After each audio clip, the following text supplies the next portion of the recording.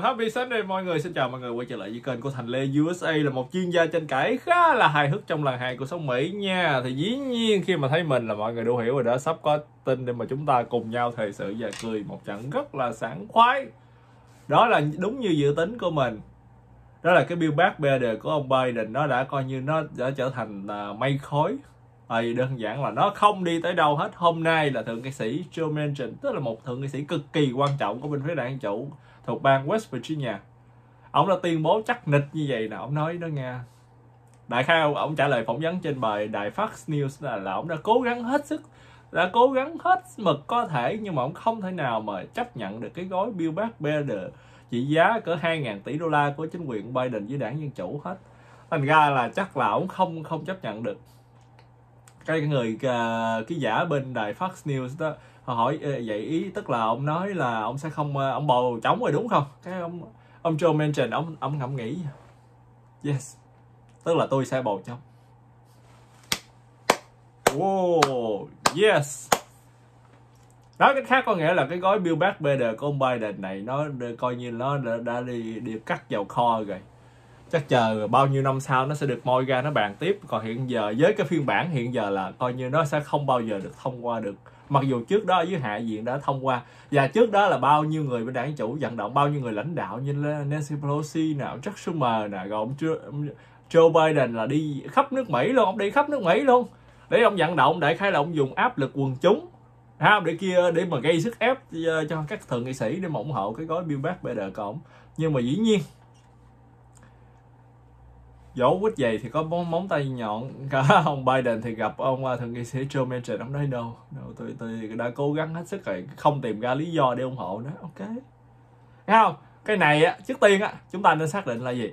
Cái gói Build Back Better này á nó có uh, nghe mới đầu nghe thì nó rất là hay ho luôn á. Nghe nào nè ha nó miễn phí ờ, nó hỗ trợ child tax credit kéo dài thêm năm này ha nó mở rộng Medicare này ha. Nó mở rộng tiền bảo hiểm thất nghiệp này ha. Ok, rồi trước đó nữa là gì? Trước khi mà nó bị xuống giá từ 3.500 tỷ xuống còn 2.000 tỷ đó nha, là nó coi gì miễn phí đại học này ha, miễn phí mẫu giáo này ha.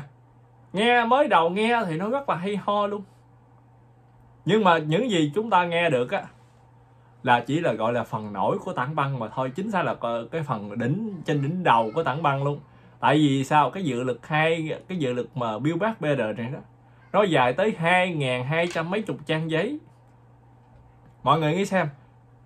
Đúng không? Dài hai ngàn hai trăm mấy chục trang giấy tức là nó còn dày hơn là cái bộ sách uh, chuyện Harry Potter nó là mọi người có thể hình dung được. Nó dày như vậy nè.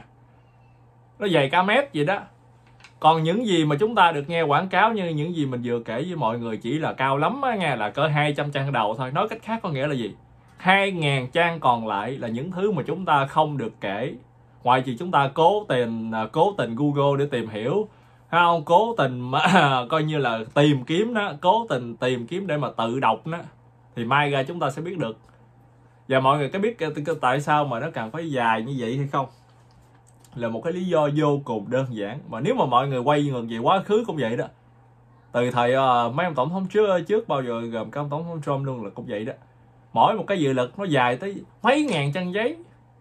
À, trong khi những thứ mà chúng ta được nghe uh, mấy ông mấy bà quảng cáo trên tivi á mấy ông mấy bà thượng nghị sĩ rồi quốc hội mỹ người ta quảng cáo rồi hay ông tổng thống mỹ rồi quảng cáo là nó chỉ nằm đâu trong cỡ 100 trang nhất đổ lại hả còn mấy ngàn trang giấy sau nó chứa toàn ba cái giống gì không à? Nào là tiền đếm cá đếm tôm này ha tiền uh, uh, lo do cây giống này ha tiền hỗ trợ nước ngoài này ha tiền mà uh, nghiên cứu dịch sinh sản này ha những thứ mà uh, nó không có ăn nhập gì tới uh, cuộc sống của chúng ta hết á. Uh, cho mình cho nó ăn nhập một chút luôn á. Nhưng mà nó không có cấp bách tính độ mà uh, cần phải xử lý liền. Và còn cái bill Back Better này như mình đã kể rồi đó nó còn khủng khiếp hơn nữa. Là cái gì? Trong đó ha nó có những cái điều khoản như gì nè ha giảm thuế cho nhà giàu nè ha nó gọi là cái cái cái so tax nè ha. Uh, có cái phần mà 200 triệu đô cho con mụ Nancy Pelosi để bà uh, uh, sửa chữa công viên ở bên cái quận hàng San Francisco của bà để ra bà lấy điểm với người dân San Francisco của bà ha. Mặc dù San Francisco là một thành phố mà thấy ghê của nước Mỹ mình nói thiệt. Nhà đó nó mắc thiệt. Nhưng mà mọi người cũng nghe bao bao nhiêu cái tệ nạn bao nhiêu tiếng xấu tệ nạn tăng tội phạm tăng gì coi như là tỷ lệ homeless tăng gì là đều ở khu vực vùng B San Francisco hết. Phải không? Okay.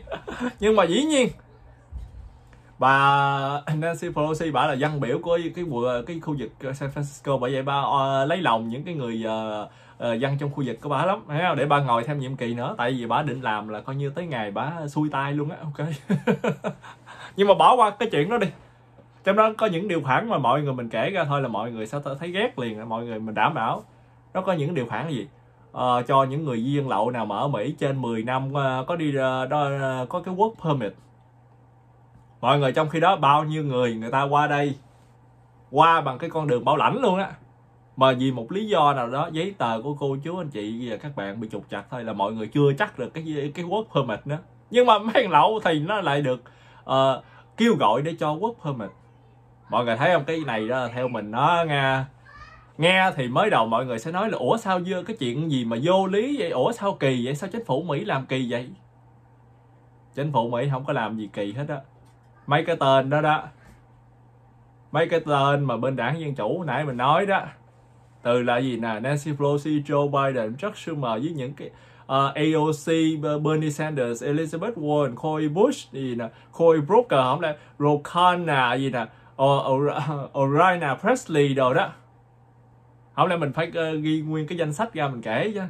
Mấy người đó mấy cái đứa đó nó khôn còn hơn là cái gì nữa? Chứ đó mà kỳ mọi người biết tại sao mà uh, mấy cái người đó họ mấy uh, họ làm gì không? Đó là tại vì họ muốn mua phiếu. Mua phiếu nói thẳng ra là muốn mua phiếu. Mọi người nghĩ xem. Cho giờ cho, cho di dân lậu đó trước tiên á hiện giờ là gì? Nó muốn cho di dân lậu vào ờ, uh, quốc permit đúng không? Nó muốn cho di dân lậu uh, có đường vô quốc tịch mỹ đúng chưa? Cái chuyện này thì chúng ta khá rõ ràng rồi. Nhưng mà cái ý đồ sâu xa hơn nữa là gì? Nó muốn mở đường cho viên lậu có thể bầu cử vào mỗi cái dịp bầu cử cho nước mỹ này. Thì mọi người nghĩ xem viên lậu đâu phải chỉ có một mình viên lậu mười mười ờ, mấy mười một triệu người viên lậu đó. Con cháu của họ nếu mà tụi nó sanh ra ở Mỹ là tụi nó cũng được quốc tịch Mỹ đúng không? À, anh em dòng họ bà con của họ nguyên cái cộng đồng của họ trên đất Mỹ này. Đó cái đó là một cái mục đích sâu xa nó muốn mua phiếu là chỗ đó đó. Phải không? Nhưng mà bán thân cái chuyện mà bao nhiêu người viên lậu mà chỉ cần họ có một cái con đường để mà cho họ định cư ở trên nước Mỹ này thôi. Thì từ từ á, họ ờ, có thể bầu cử, họ có thể vào quốc tịch và họ bỏ phiếu, đúng chưa? Là coi như là ờ, tụi ờ, bên đảng dân chủ nó được bao nhiêu triệu phiếu nữa đúng không? Rồi xong rồi con cháu của mấy người đó dĩ nhiên là tụi nó cũng sẽ bầu trai bầu cho đảng dân chủ là bao nhiêu triệu phiếu nữa rồi, đúng không? Thành ra cái việc để dân chủ còn lại họ làm là gì? Rất đơn giản đó là cho mấy người đó càng nhiều tiền thì càng tốt. Mọi nghĩ xem tiền trước tiên tiền, nhưng mà nó nói rồi không có phải là từ túi của mấy cái tên đó. Mấy cái tên đó để chưa chắc là coi như mọi người xin nó 10 đồng mới cho nữa. Tiền đó là tiền của chính phủ Mỹ, của người dân Mỹ chúng ta, đúng thế. Lấy tiền cho di dân lậu, cho di dân lậu lợi ích thì dĩ nhiên khi mà di dân lậu họ có điều kiện, họ có cơ hội để mà sau này họ trở thành một công dân Mỹ bằng cái đường nào đó, hoặc là con cháu của họ đi, sau này tụi nó lớn lên thì dĩ nhiên tụi nó sẽ bầu đảng dân chủ thì dĩ nhiên đảng chủ họ sẽ là người có lợi nhất đúng không? Đó là một cái lý do mà sâu xa nhất mà ở trong cái cái chuyện đó là nguyên nhân vì sao mà đảng chủ nó hết lòng hết sức để mà nó tìm cách nhét những cái điều khoản mà gọi là cho viên lậu cái này cho viên lậu cái kia vào cái gói Bill Better và chính quyền của Biden. Như mọi người đã thấy lúc trước còn định bồi thường cho viên lậu nữa chứ ok. Không biết ông có bồi thường cho người dân uh, Việt Nam chúng ta trên đất Mỹ này không mà ông đòi bồi thường cho viên lậu. Nghe là thấy, mọi người thấy nghe là muốn ờ, coi như là chữ thề. Đó, thành ra là cái gì? Thành ra là mình, cái idea nãy giờ mình muốn cho cô chú anh chị biết là gì? Khi mà chúng ta thấy chính phủ Mỹ hay chính quyền ông Biden mà họ làm cái gì bậy đó, thì chúng ta đừng có bao giờ mà chúng ta ờ, phản ứng cái kiểu vậy nè. Ủa, tại sao mà chính phủ Mỹ làm gì kỳ vậy? Làm vậy đâu có công bằng cho người Mỹ chứ. Chúng ta phải chửi thẳng vào mặt tôi nó ok?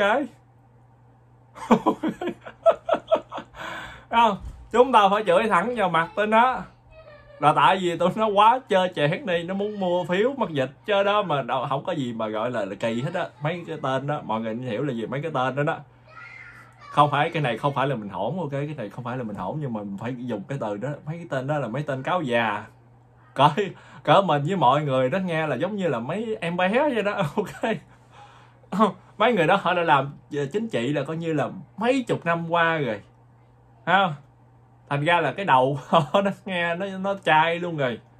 Họ thừa biết rõ đường đi nước bước và cái họ làm việc mọi người thấy không? Nãy giờ mình cho mọi người coi họ biết rất là rõ các cái lợi ích các cái tác hại mà nó sẽ mang lại. À, dĩ nhiên là họ là sẽ người là uh, hưởng được cái phần lợi ích. Còn hại là nước mỹ bị hại chứ họ đâu có bị hại. Mọi người thấy không?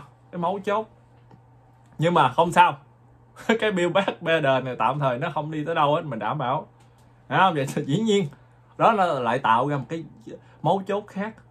Đó, đó là dĩ nhiên bây giờ đó là qua năm sau là năm 2022 rồi là gì? Là midterm election là bầu cử giữa kỳ là nơi mà đảng cộng hòa hiện giờ là có cửa sáng nhất.